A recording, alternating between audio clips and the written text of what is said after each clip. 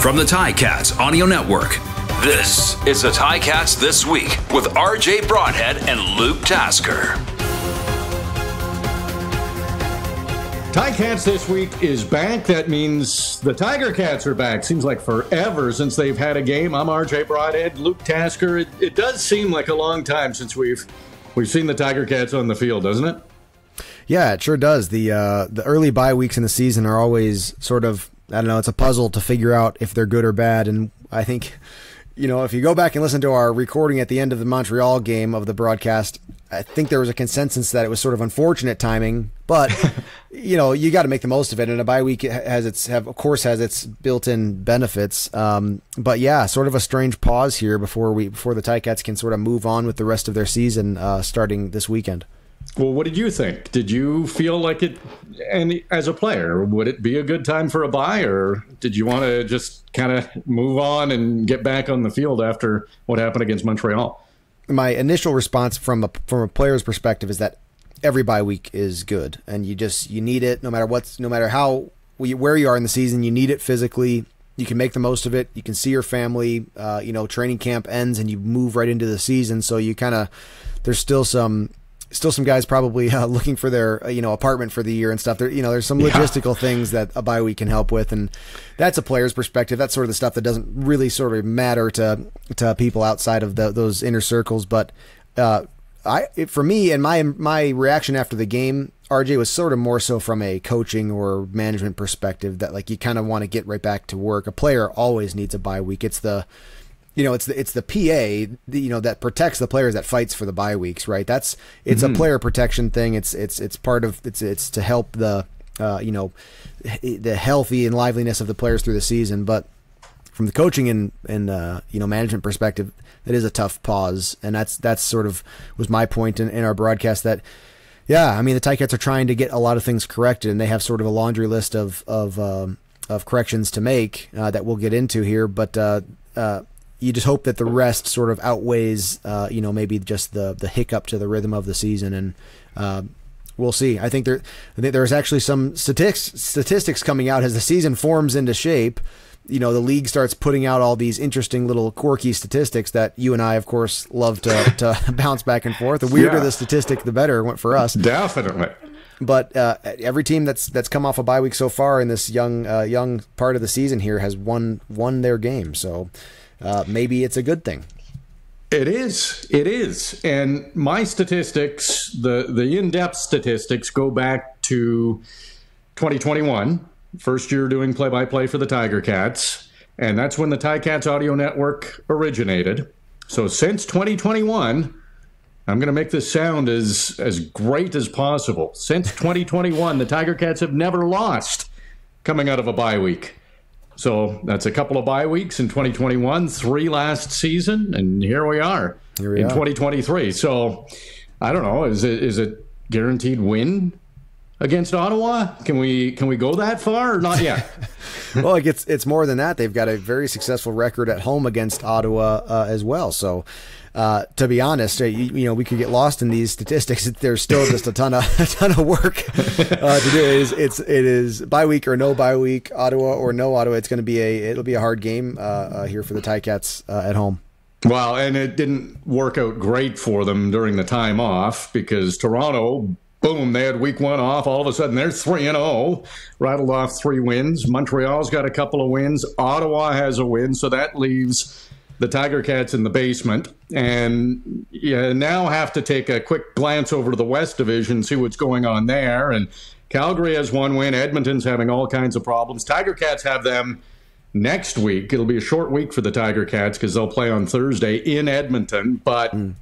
We know the Elks have struggled, especially at home, so that could work out for the Tiger Cats. But they have to take care of business against Ottawa because, as mentioned, Red Blacks have a win. If they beat the Tiger Cats, now they have two wins, not insurmountable, but a terrible hole, and it would be another start to the season where the Tiger Cats lose their first four games. So I know you're not going to say we're in must win category, but this has to be really close to a, a very mandatory win. Can we say mandatory instead of must? it's pretty much Maybe the same word. I am not sure meaning. if that's different actually, but no, same meaning, different word.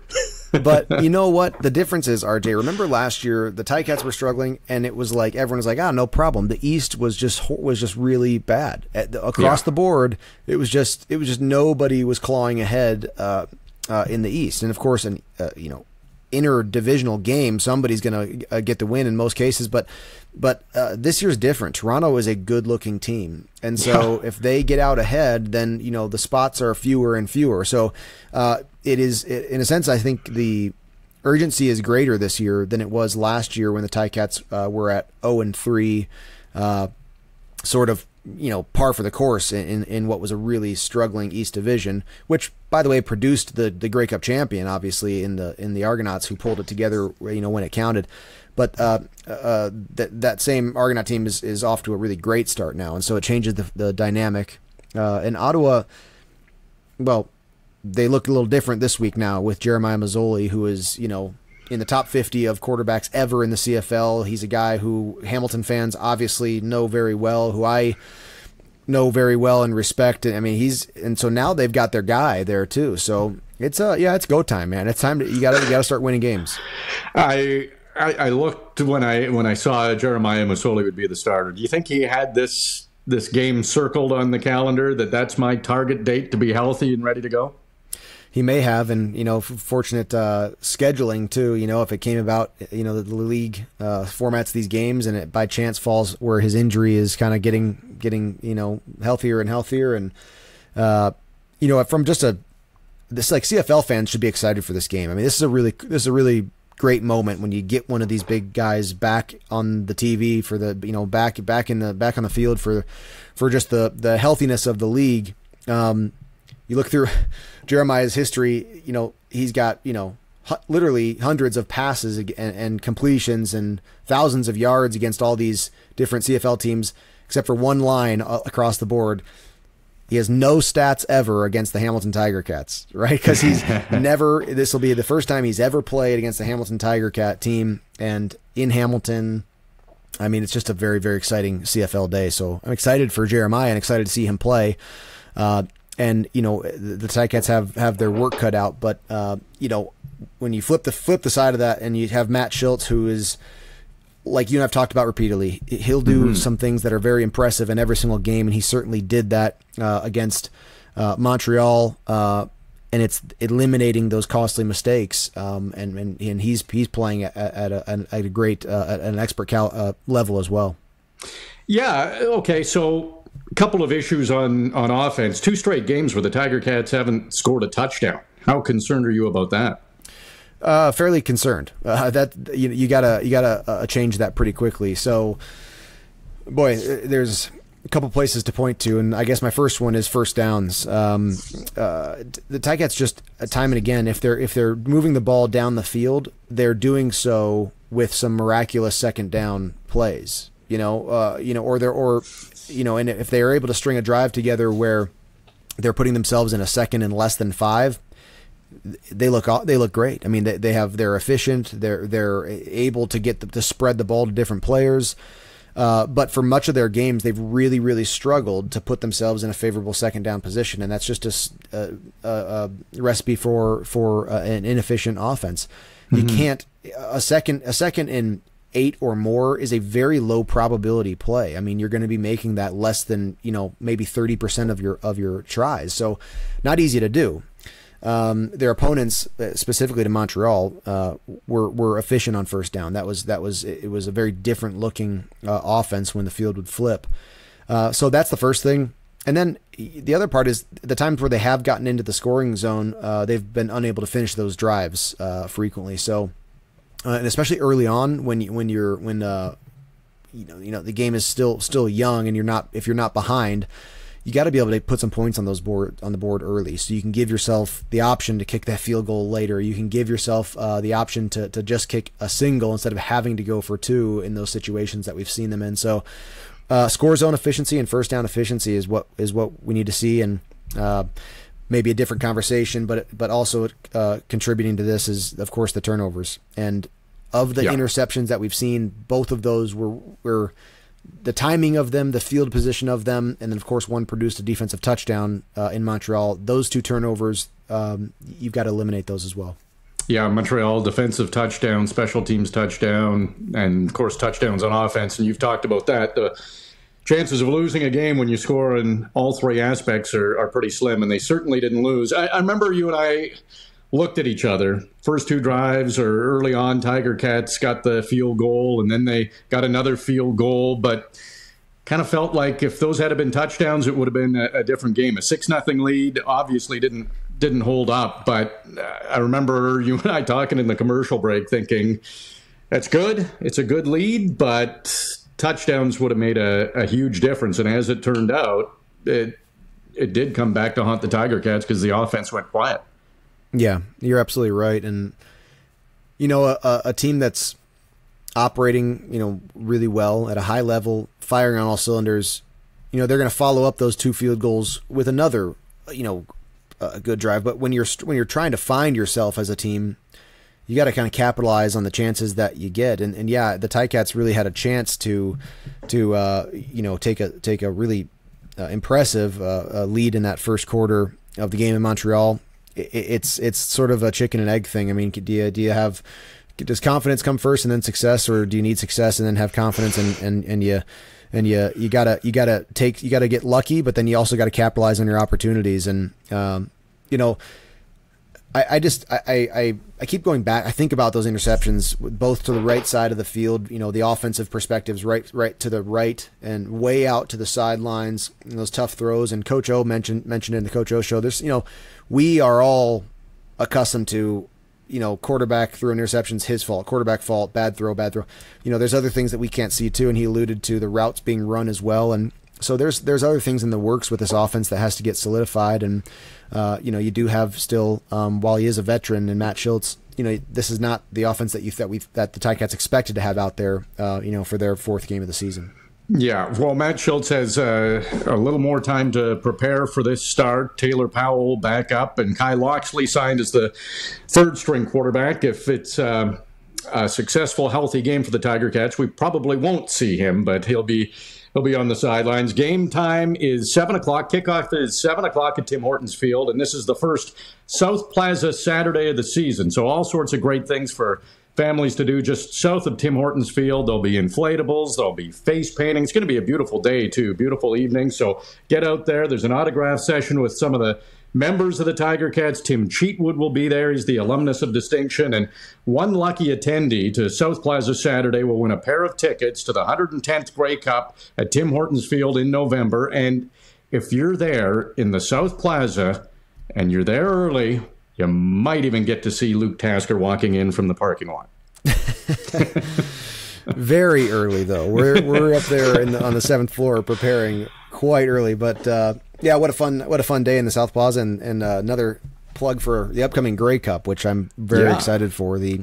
The unabbreviated Grey Cup, as we say, the 2021 was technically an abbreviated Grey Cup celebration, although it was an awesome week in Hamilton. But very excited Yeah. for this year's. Yeah, and Tiger Cats were in that game, and we know they've got a little work to do, but that's that's how they do it. Make it interesting, make it exciting, keep It the is, fans on the edge of their seat all season long. One thing I wanted to ask you about that game against Montreal. The Tiger Cats on offense, they passed 47 times. They rushed just nine times. Now, it could have been because they were trailing. Do you think it was because of that, or was that game plan? That's a big discrepancy. 47 pass plays compared to nine run plays. Yeah, uh, I think it. I, I think the majority of that would fall to you know being behind and just trying Yeah. mo- moving the ball in the field. It come. It's also about that first down efficiency. It's not you know if it's really hard to run the ball on, on second and seven, second and nine, you know, repeatedly, and uh, so. Uh, you know, you give it a couple shots, you, you know, and, and James Butler, uh, you know, hoping hoping that we see a, you know a great deal of success from him uh, in, in this coming match versus Ottawa. But uh, when it's not there, you know, if you're a coordinator, is is the second quarter of an actual football game the time to work on your run game to like figure it out? No, like you you know you got to go and try to you got to do what's working today right now. Like you can't figure it out. It's not a preseason game, and it's not you know, practice or training camp. And so when something's not working that night, you know, and the Ticats have had their offensive line, yes, uh, uh, injuries as well. And so, yeah. you know, we, we're not exactly, meaning we as, you know, analysts and fans aren't, aren't exactly privy to uh, uh, the the the functionality of the run game and, and, those front five. But if it's just not working at that time, you, have got to go elsewhere to find an answer. You don't have you don't you're not you're not allowed or you don't have the allowance of and freedom to just try to figure your way through it and get a get a run game going. If uh, and so that's Matt Shiltz had the ball in his hand, like you said to throw it 47 times and that's a heavy burden and you know the you know the more the more times you throw the ball the, the higher the probability becomes of throwing an interception as well of course Yep, and he had two in in the game. You mentioned the turnovers. Tiger Cats. It's been a couple of seasons now where they know they need to win the turnover battle and have struggled to do so, but you can't win the turnover battle if you don't get any takeaways. And now it's two straight games where the Tiger Cats don't have any takeaways. And maybe you attribute that to the the other team and doing a good job with ball security but that's an area where you just know the the defense is wanting to improve. Yeah um, it's just so interesting to me that, they, that the Ticats have struggled in both the giveaways and takeaways. Like you know that's that's that'll lead to a really poor looking ratio. Um, but but they're so they really are separate categories. I mean, it's totally it's two different two different you know parts of the team, two different skill sets. It's all, it, but the mindset is one. The ball, the, the the mindset of a team culture of ball security. That's that's a consistent thing across offense, defense, special teams. But the actual skill set and you know ability of takeaways and giveaways are different. And the Ticats have struggled on, on both sides of it. Um, Jeremiah Masoli, it's been a year since he's played. He'll want, you know, he, he, uh, he's going to have some rust to get out as well. So can the Ticats secondary, unfortunately, also a position group that's had some injury and adversity, yeah.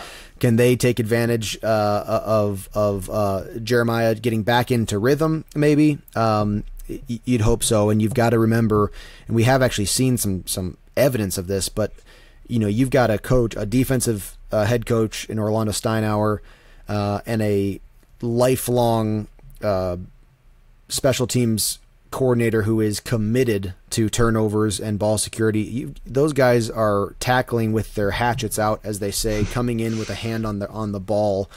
Um, and so you just keep at it, doing the right things, and and this defense and special teams, you hope that that produces some turnovers. Well, let's address what you mentioned the the secondary, and so Lawrence Woods is out. Dexter Lawson, rookie, will start on that field side corner. Richard Leonard, consistent. We were talking about it earlier. You could probably pencil him in for his five tackles, one or two knockdowns. Maybe he's the guy that gets a, a takeaway. He's always good for, for a handful in a season. On the other side, Kenneth George, rookie corner, uh, Javien Elliott, and no Tunde. Tunde Adeleke is out for the Tiger Cats. Stavros Katsantonis, he's had a, a good special team season. He had an interception in the in the preseason. He's uh, very, very capable replacement, but Tunde might be the best safety in the CFL. So missing him, what does that do to the secondary of the Tiger Cats? Yeah, well, it does make you make a Tiger Cat fan thankful for Stavros Katsantonis, who's kind of for the years he's been in Hamilton, fills in and and plays well. I mean, I really like the way he plays football, and he's a he's always got his nose on the ball to, in special teams, and he's filled in and made big tackles and big plays as a free safety when he's had to as well. You know, yeah, it is troubling. Tunde Adeleke on on the sixth game. That's not a, you know necessarily a permanent thing, but it's not obviously a, what what you'd like to see uh, either. So. Um, it, it's it's it's the story of football, and and you know what? It's almost like if you if this was the uh, Edmonton audio network or BC does does every team are they all out there complaining about their injuries? Probably. Uh, you know it's, it's it is a part of the sport but I don't know. It does really kind of seem to be to hit the Ticats in uh, specific position groups you know repeatedly or or just all at once sometimes. And uh, we'll see how these guys can guys like Stavros Katsantonis and, and, and some of these O linemen who are filling in and bouncing around can uh, can can produce. Yeah, I, I have I have high hopes for them, and the game is at seven o'clock, the kickoff. But keep in mind the Tiger Cats pregame presented by Greenworks starts at 6. So it's an hour pregame show. You're going to want to tune into that with Bubba O'Neill and Andy Fantuz because it's our Greenworks Listen to Win contest. Listen for a keyword. So they'll give you a keyword in that pregame, and then somebody's going to win a Greenworks 40 volt, 16 inch cordless lawnmower. So again, Tiger Cats pregame starts at 6 o'clock on Saturday. You can listen at listen.ticats.ca. Get that keyword, win that 40 volt, 16 inch cordless lawnmower, game changer. I've got one of those. You don't need to worry about gas. It's a great mower. The battery lasts forever, so it's uh, it's amazing. You'll want to tune into pregame for all the great information, and then listen to the game. But also, hey, winning a lawnmower is not too bad either. Not bad at all. Very nice. Uh, a couple of guys I'm interested in seeing, and I'm sure Tiger Cats fans are too. Jared Hewitt playing on the interior of the defensive line. It's uh, you know, it seems to be a lot of depth on that defensive line for the Tiger Cats, and we're going to get to see the the rookie Hewitt, and maybe that's an area where the Tiger Cats want to get uh, a little more pressure on the quarterback. They did a pretty good job against Cody Fajardo, but it's it's one of those things. If you can keep the quarterback on the run and under pressure and uncomfortable, that helps other aspects, right? The, here's another unbelievable stat that that came out from the league this year. If a quarterback's been sacked on a drive, there has not been a single touchdown produced uh, after on that same drive this season.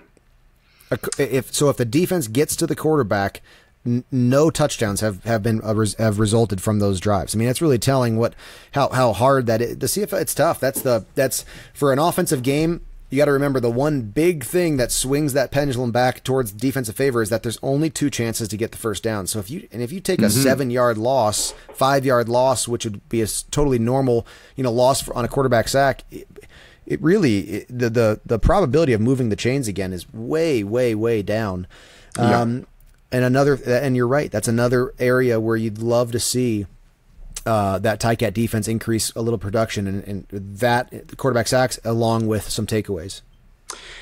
Tyreek McAllister, this guy. I, am saying Carthell Flowers Lloyd is going to be a star in the next year or two, maybe even this season. He's he's all over the place. We saw him in the preseason. He's been a special teams nightmare. He has a block punt this season love watching him. He's going to yeah. get himself into the lineup on a on a permanent basis somehow on defense. But Tyreek McAllister could be that guy on offense. He's he's listed as a slot back and a returner for this game against Ottawa, but he's also a running back, so he can do a little everything. And I remember watching him in his very first practice, and he stood out. Who's this number 35 out there? And not many guys in their very new to a team stand out in their in their very first practice. So he's going to get a, a huge opportunity, it appears. And this guy spent a little time in the NFL, but McAllister could be one of those hidden gems that the the management and scouting staff is has discovered. I'm excited to see what he can do. Are you? Yeah, I certainly am. And we saw him a little bit on special teams in the Montreal game, and then you know he's lined up in, on the depth chart. We're going to see him a little bit, you know, out as a wide receiver or a slot back there, and you know it's you've got the balancing of of the different identifiers for players, national and designated uh, national and stuff, and and Duke Williams, of course, is behind him. So we're going to see a lot of Duke Williams as well. Yeah. But McAllister, I'm guessing he's going to kind of get plugged in around where he can in the backfield and then split out as well. So interesting. I think in, in in our conversation with the run game, Tommy Condell has always been uh, part of his run game. It includes receivers. I mean, that's just part of part of the nature of the Ticat offense. And so, I'm guessing that McAllister will sort of be creatively worked into the to the run game for sure, and maybe we'll see some passing as well.